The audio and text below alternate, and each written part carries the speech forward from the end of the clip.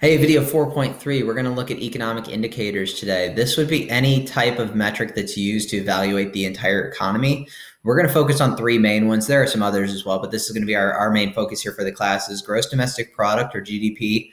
We're going to look at unemployment. We're going to look at inflation. We're going to go in depth on each of those three today. And then we're also going to take a minute to look at the business cycle and how that impacts the economy as well. So let's dive right in here. We're going to start with gross domestic product. Uh, this is a measure of economic output. So we're, what we're trying to do is try to look at all the goods and services produced in the country and determine how much is it worth. And um, and so it's a total dollar value in the United States. It's over eighteen trillion dollars on a year. Um, and we're going to look at what it includes, but we're going to start with what it doesn't include. So these terms here look at what, what are not included in terms of the GDP calculation. So we're going to run through these quickly. An intermediate good is a good that's used in the process of making another good. So when we would count something like, say, a car part, we're not going to include the car parts themselves and then the car as a whole. We're only going to count it once. So that would be an intermediate good, would be a part. If you sold it as its own standalone good, then it would be a it would be a good calculated in GDP. Um, um, likewise, that with a double counting, we don't include anything that's a secondhand sale. So if you buy a brand new car in 2016 and then you sell it in 2018, uh, it's counted in the 2016 year, but that sale in 2018 does not count towards GDP because nothing new was produced. We can't report any, count anything on black market sales just because they're not reported. Uh, there's it's a difficult um, it's difficult to get an accurate estimate of what is actually the transactions that are occurring in a black market. Um, non-market sales, anything that is a service that's provided, but there's no payment in exchange for it, is not going to be included in GDP. And then also government transfer payments. So any of the government programs that are paying out money to people with nothing really in return, uh, such as Social Security, Medicare, Medicaid, unemployment, welfare programs like that, that's going to be included as transfer payments and not included in GDP. So, what do we use GDP for? We're looking to compare uh, a current year to a previous year in the United States, for example, or we're looking to compare country to country. We're trying to examine growth and and look at how things are going differently from place to place. So some things come into play with that. Real GDP is a, is a nice way of comparing year to year because this takes inflation off the table. We see a rise in prices over time, uh, so to compare, you know, 1960 to the present day is difficult to make happen. But if we have a metric that's measuring it based on inflation, we can see the actual growth that's occurred from 1960 to today. And GDP per capita is also an interesting metric because that's looking at the average output per person. Uh, so that's some in, that's interesting when comparing country to country a lot of times because you can see what's the output per person that they're bringing out. Now, in terms of sectors of the economy, this is what we're actually going to count up when we measure GDP. What's the consumer spending that's occurring in, from the households? What's the how are the markets doing? What's going on with investments? What's going on with government spending, not including those transfer payments. So what are we spending on military and roads and schools? Those are that's government spending that's included in that. And then foreign, uh, what we're looking at with the foreign spending is what's going on with our dollar value of our stuff that we're sending away in terms of exports, and then the imports we're bringing in. So that's going to be a net exports type of thing. I'll show you in just a second. Uh, so on the calculation here, uh, you see that we're going to take consumer spending, investments government spending and then net export. So that's the X minus M part there. We subtract those and we add that all together. That's going to make up our GDP. That's called the output expenditure model. Uh, and also, here's a graph showing how real GDP and current GDP adjusts. So the blue line would represent 1960 to about 2006, uh, just not counting for any kind of price changes. So you can see the growth that's occurred. The red line shows when we take a base year of 2000 and we see that we don't get quite as much growth during that time because prices were rising gradually during that time as well. So the growth that's occurring is not quite as great as what we see. So this is nice at kind of really bringing home the reality of what's the growth that's occurred, kind of comparing years apples to apples. Now, unemployment will be our second metric that we're going to look at, second indicator.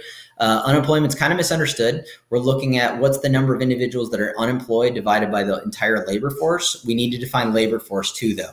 So anyone who's 16 or older, um, who is either employed or seeking employment is considered part of the labor force. What's interesting is that anyone who cannot work is not considered unemployed, and anyone choosing not to work, say, for example, students, uh, are, are not considered part of the labor force, therefore not unemployed.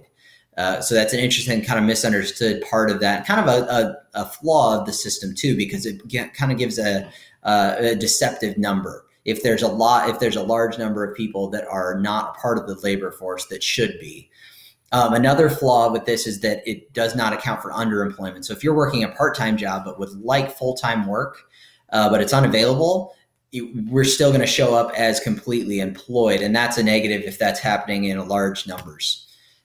There are three types of unemployment. We're looking at structural, frictional, and cyclical. Structural and frictional are always going to exist. We're always going to have changes in the economy causing some jobs to become obsolete and new ones popping up in place of it. Uh, especially in, in the case of technology, that's structural unemployment.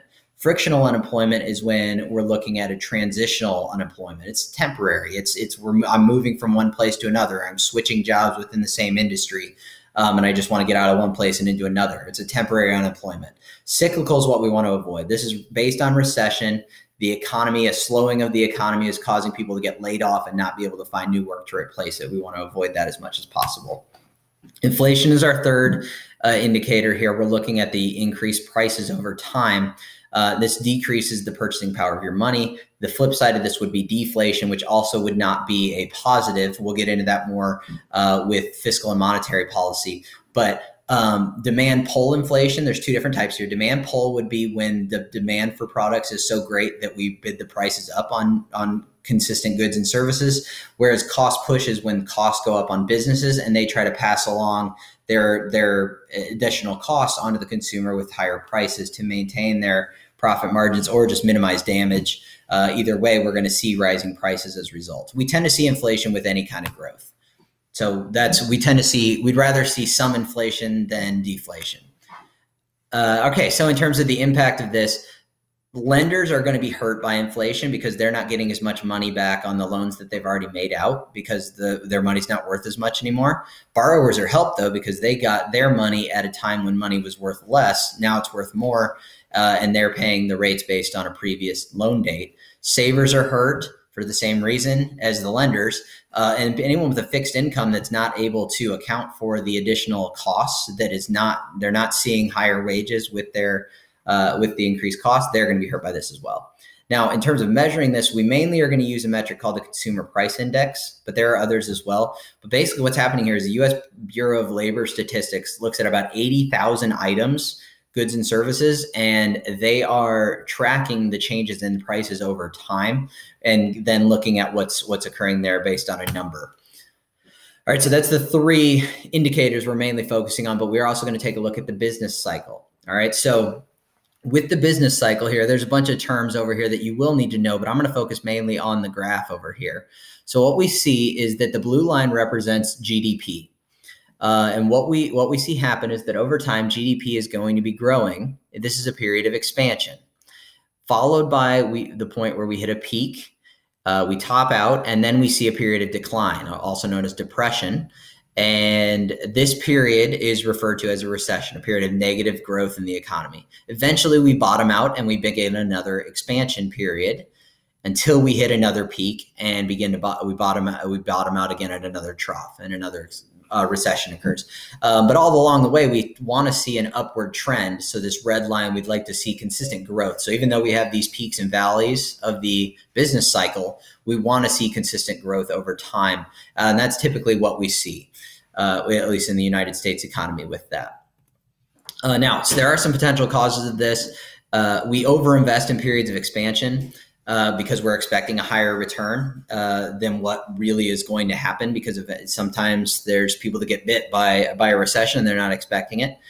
Innovations that come along can create some really big short-term gains that cause some of that overinvestment. Uh, but then, it, as firms begin to kind of catch on with these new methods or technologies, it kind of levels out. Uh, the the Federal Reserve actually has some impact with this as well. We're going to talk more about that in Unit Five, though, so we'll leave that off for the moment. And then any external shock can cause can cause fluctuations in the business cycle as well. So that's something we need to look out for as well. Whether it's oil price changes or a conflict that we're involved in or not involved in. Uh, the the bottom line is it's difficult to predict it's easy to look back historically and say like how did we not notice that the housing market was about to crash but it's harder than you think in the moment to decide where is that peak and we need to make a change. All right, that's going to wrap up this video on uh, economic indicators.